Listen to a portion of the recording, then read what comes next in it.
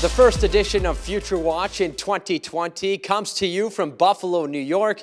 I'm your host, Tony Brar, and this week we're providing you with a World Junior Championship update as the medal round is set to commence on Thursday.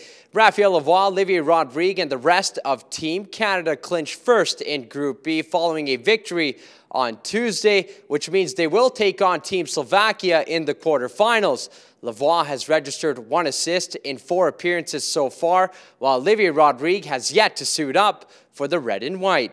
Two-way defenseman Philip Broberg got on the board in Team Sweden's 6-2 victory over Team Slovakia on Tuesday. The goal marked his first point of the tournament.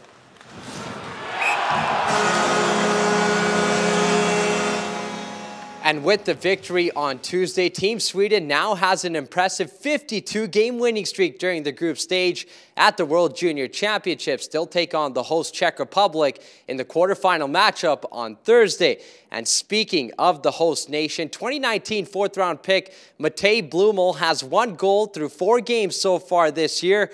That game between Czech Republic and Sweden will go down at noon Mountain Time, while Team Canada will take on Team Slovakia at 7 a.m. That does it for this week's edition of Future Watch. I'm Tony Brar.